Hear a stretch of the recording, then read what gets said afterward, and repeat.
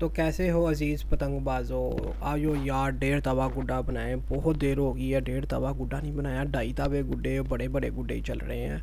डेढ़ तवा गुड्डा बनाते हैं सिप्पी टैडी पॉन, जिसके लिए मैंने ले ली है कैंची, आटा शलेश कटर, धागा और बम्बू स्टिक। एग्जैक्ट साइज़ जो होता है ना, डेढ़ तवे का, ये वो पेपर है। सही है तो रेड कलर का है, बहुत ज़बरदस्त लोकल पेपर है यार, कोई जर्मन पेपर नहीं है लोकल पेपर डेढ़ दवा आपको मिल जाता है, ढाई दवा भी मिल जाएगा। गिफ्ट वाली दुकानें जो होती हैं ना, आप लोगों के पास जो मसैरी से जाते हैं शादियों में, उनकी दुकान में आप जाओगे ना, आपको उनसे मिल जाएगा, ये डेढ़ तवे साइज़ का भी मिल जाएगा, चालीस बाई चालीस भी मिल जाएगा, जो साइज़ जितने भी है, ये तीस बाई तीस है, चालीस बाई चालीस भी आपको मिल जाएगा, और जो छोटे तावे वाले होते हैं ना, वो भी मिल जाते हैं उनके पास। इसका फर्मा काटने का तरीका मुझसे बहुत से मेरे दोस्तों ने पूछा है, यार, इतना आसान है, बहुत ही इजी तरीका है काटने का फर्मा। जो प्रोफेशनल वो बताते हैं ना कि इसको फोल्ड कर लो, इसको ये कर लो उसको वो कर लो, वो कोई ज़रूरत नहीं है। दो इंच ऊपर से छोड़ के ना हाफ़ तक लेके आना है। हाफ़ तक लेके आके आपने गुलाई करनी शुरू कर देनी है, एक इंच पे ला के छोड़ देना है। ये बस आपका कटर जो फर्मा कटर है ना, इस तरह कटता है। ठीक है। नीचे से भी आपने डेढ़ इंच छोड़ के सीधा नुक्कर से ला के मिला देना है, उसमें कोई गुलाई नहीं करनी तो आपका ज़बरदस्त फरमा तैयार हो जाएगा। चाहे वो आटा पोना है, तावा है, डेढ़ तावा है, ढाई तावा है, जितना भी बड़ा गुड्डा है ना, इसी तरीके को आपने फॉलो करना है और आप उसका फरमा बना सकते हो खुद ही। हमने कौन से यार बेचने हैं? हमने अपने लिए गुड्डा बनाना है, बना के उड़ाना है, बस इंजॉय करना है। ठीक है।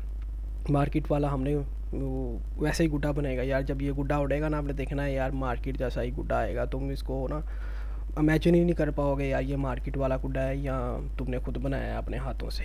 बहुत आसान तरीके के साथ। ये साइड में जो मैंने कटर लगाया है, कट लगाया ना ये धागा लगाने के लिए, अभी हम इसको जो तीला है ना बम्बू स्टिक वाला, वो भी हम अभी ही तैयार करेंगे इसी टाइम आपको दिखाते हुए। बम्बू स्टिक की मैंने तीलियाँ ऐसे कट करके रख ली हुई हैं। काफ़ी जब वीडियो बनानी होती है ना, मैंने निकाल के दो तीले ला के उसके हिसाब से कट करके उसको छील लेता हूँ पेपर कटर की मदद से। वो कोई स्पेशल कटर नहीं है यार। कितने लोगों ने मुझे कमेंट कर दिया है कि यार कोई कौन सा कटर यूज़ करते हैं, ये है, वो है। कुछ यार पेपर कटर जो मिलता है ना बुक शॉप से पेपर कटर ले आओ उसके साथ, आप उसके बम्बू स्टिक काट लो। और बम्बू स्टिक आपको कहाँ से मिलेगी? बाँस, जो पौड़ियाँ बनाते हैं ना वहाँ से आपको बम्बो स्टिक मिल जाएगा यार। नरम वाला बाँस लेना है खोखरा बाँस हो अंदर से।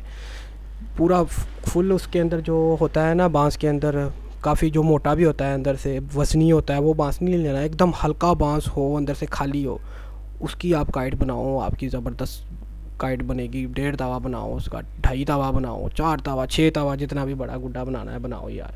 आसान तरीका है।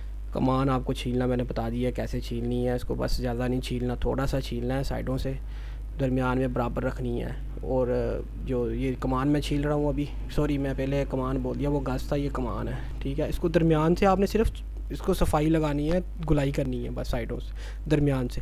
साइडों से आपने ज़्यादा छीलना है, कोशिश करना आराम आराम से छीलो, दोनों साइडें गोल करनी है।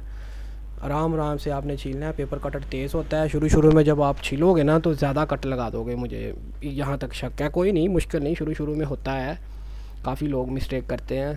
तो मैं बता रहा हूँ कि आपने स्लो स्लो उसकी सिलाई करनी है। साइडों से ज़्यादा ब्रीक करना है। दोनों साइडों से ब्रीक करना है। ठीक है, उस हिसाब से आपने करना है। जहाँ पर आपने अपना गुड्डा बनाया है ना, ये आपने चेक कर लेना है कि यहाँ से गुलाई की है ना, वहाँ से आपने तीले की भी गुलाई करनी है। ऐसे रख के ना ऊपर। चेक कर लेना है कि आप बिल्कुल गुलाई ठीक कर रहे हो अपने गुड्डे के हिसाब से, ठीक है? क्योंकि मैं पहले भी आपको बता चुका हूँ कि हमने कौन सा बेचना है यार, हमने तो खुद उड़ाना है ना। खुद अपने हाथों से बना हुआ गुड्डा उड़ाने का अपना ही मज़ा है, ठीक है? ये मैंने अभी इसकी कमान रेडी कर ली है। एक और इम्पोर्टेंट पॉइंट मेरे बहुत से पतंगबाजों ने बोला था कि जब हम कमान लगाते हैं ना तो वो फट जाती है लगाने के बाद। तो यार, अपनी लेवी को इतना नरम ना रखो, जिससे आपका गुड्डा गीला हो जाए, गीला होकर फट जाए। उसको सख्त बनाओ जब आपने कमान लगानी है स्पेशल कमान लगाने के लिए आप लोग गम स्टिक ले लो। मेरी अक्सर वीडियो में आपने देखा है, मैं गम स्टिक से भी कमान लगा रहा हूँ। तो आप लोग भी गम स्टिक के साथ उसकी कमान लगा लो। उसके साथ आपका गुडा फटेगा नहीं। कमान आपकी सख्त जो है ना, वो भी अच्छे से लग जाएगी। लीपो तो इसके साथ ही आप लगा सकते हो। अगर सख्त बना रहे हो गुड्डा तो गम स्टिक के साथ उसकी कमान लगा लो।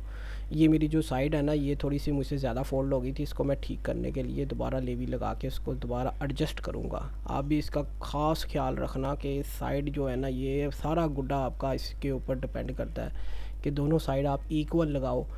थोड़ी सी ज़्यादा फोल्ड होगी एक तरफ़ से तो वो आपका गुड्डा कन्नी खाएगा। ठीक है? एक साइड बड़ी, एक साइड छोटी होगी तो गुड्डा एक तरफ़ जाएगा, बहुत ही कन्नी खाएगा। ठीक है तो मैं कोशिश यही कर रहा हूँ कि इसकी जो साइड है ना वो इक्वल हो जाए। धागा लगाने के लिए आप लोगों को पता ही है इजी तरीका है। ठीक है धागा ना भी लगाओ तो चलेगी टेप के साथ भी आप उड़ा सकते हो। धागा ये है कि प्रोटेक्शन हो जाती है आपके गुड्डे की। ठीक है अगर आ, आगे आप देखो वीडियो को मैं मैं म्यूज़िक लगा रहा हूँ।